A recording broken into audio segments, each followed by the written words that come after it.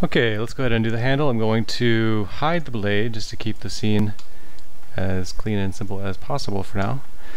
We'll go ahead and make a new sketch, create sketch, and click on the work plane. And we're going to do kind of the same idea with splines and lines here. So I'm going to go spline, and there's a little notch taken out. So I could put that in the spline, but I think that's probably going to be a little easier to do kind of after the fact. So I'm going to just sort of treat this geometry as though it is kind of whole. And grab this handle and just do the same thing. Just gonna bend it up.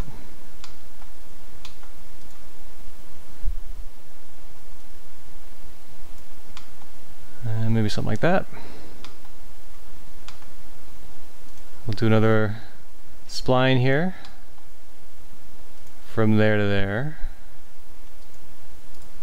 Hit OK. I'm going to grab the handle.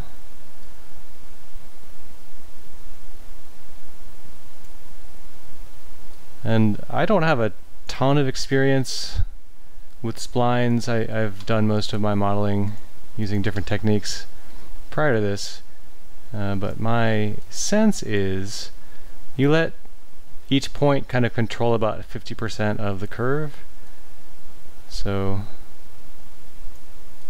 tweak the handle. If you're trying to modify this side, you know, let this side, let this point here kind of control that. So uh, let's go back and do another sketch. Spline. There to there. Hit OK. Tune it up.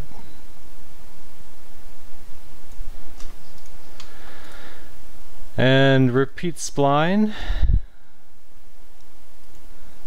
Right click and hit OK. Grab the handle.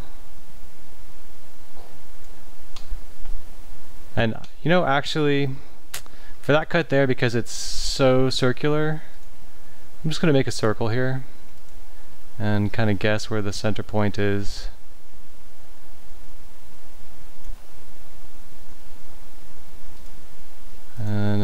And I'm going to hit OK and give this a little bit of a drag. I guess maybe I can move it. There we are. Click the middle point, moves the circle.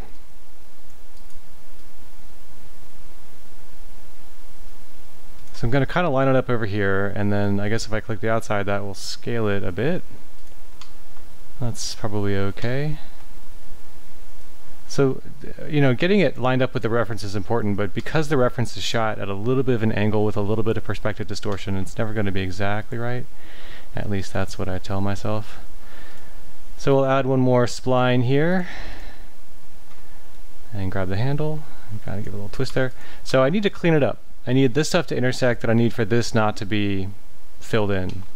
So what I'm going to do is grab this point and just kind of drag it to the, the edge of that circle and it's going to kind of know what I'm talking about. It'll snap in there. And then I need to go to sketch and trim.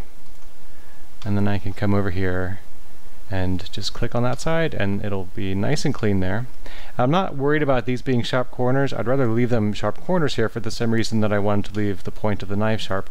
It's much easier to come in and put a little fillet on that uh, geometry uh, because that is just going to be a fillet about this little piece of the geometry. If I put a fillet on this curve, the entire piece of geometry is going to be limited to being uh, smaller. Any any fillets that I put on that edge are going to be smaller than whatever this uh, this radius is. So let's go ahead and do this last part here with a line. I guess that wasn't the exact last part. Now we're at the last part, so right up there and there and then once again right click and then we'll just grab these handles. Go a little longer with it so that's a little bit of a, of a sharper fall off there. And I'm to get the handle to pop up I want to make sure that I'm dealing with the handle for the spline so I'm clicking over here and then it is uh, it is available to me. So maybe went a little long on this handle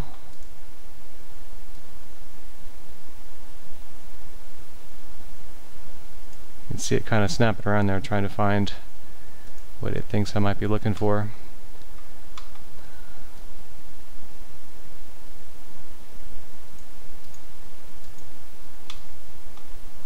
All right.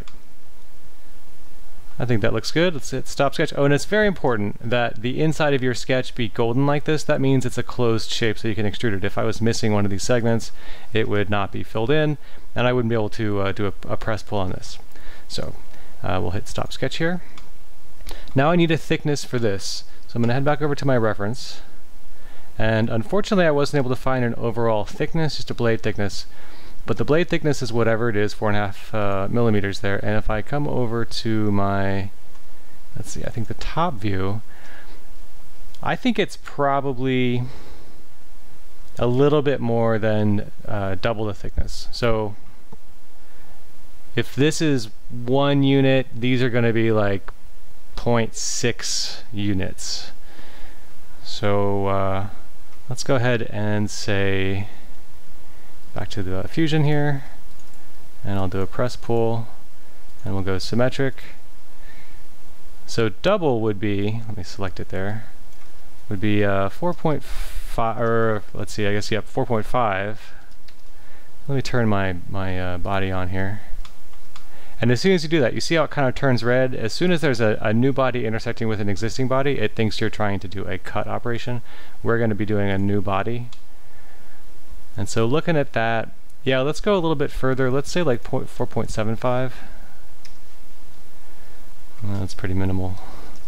Maybe like 5. Now, the nice thing is we're not locked into this. I can come back and, and change this at any point and it'll update. So I'm mostly just trying to get as close as I possibly can without worrying too much about uh, you know perfection.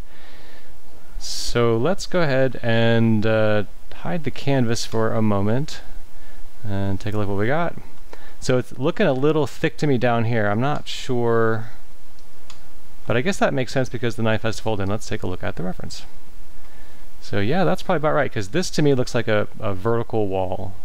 So uh, whatever the thickness is here probably extends all the way down. Let's take a look at some of this other stuff. Yeah, okay. All right, so uh, let's see take a look over here. In the next video, we'll go ahead and cut out the circle and these guys and maybe this piece here and uh, see how much time I got left.